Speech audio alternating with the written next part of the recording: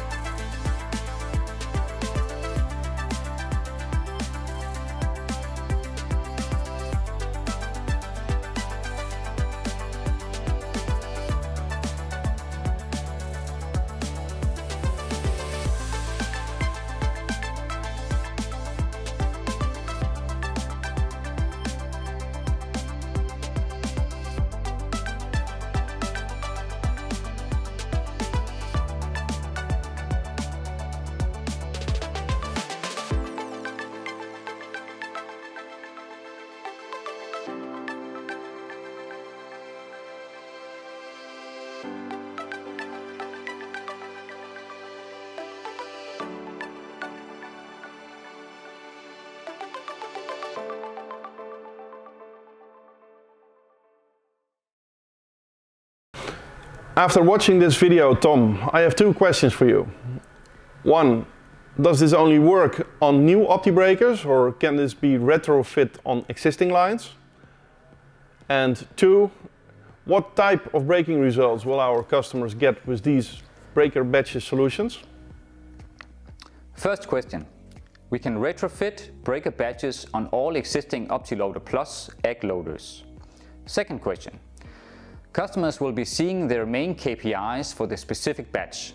This means that customers can, as an example, track data like difference between incoming eggs and loaded eggs, losses during breaking, whole egg percentage, average capacity to the specific batch. This insight reveals data that enables the customers to act proactively with their suppliers to reduce losses and increase their yield. Okay, thanks for that, Tom. I'd now like to conclude this presentation by summarizing the advantages of breaker batches.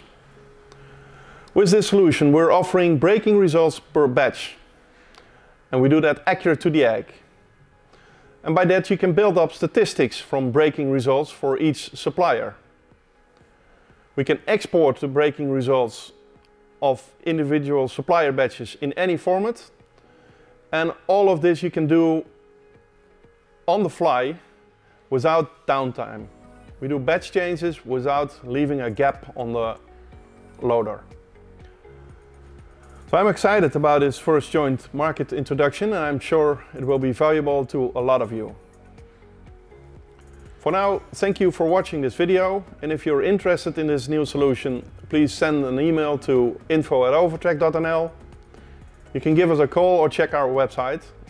Of course, you can also contact your local Sanovo representative for this solution as well. And as I said at the beginning of this presentation, for those of you that are interested, I will give some more detailed information about the Ovotrack solutions for egg processing. For others, and also for you Tom, thanks a lot for your interest and watching. Have a good day.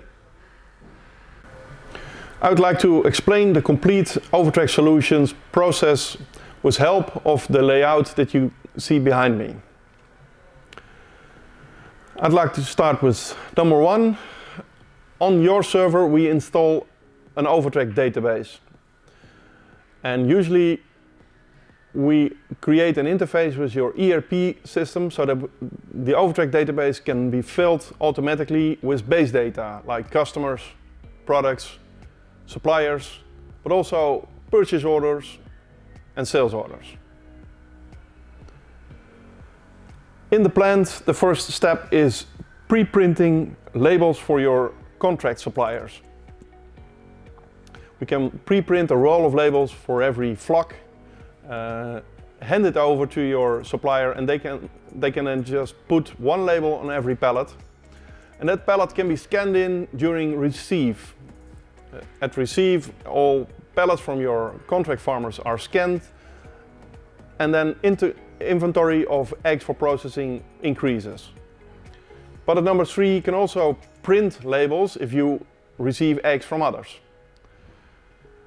One way or another, after receiving, all pallets in uh, your warehouse have a unique pallet ID and they are in inventory.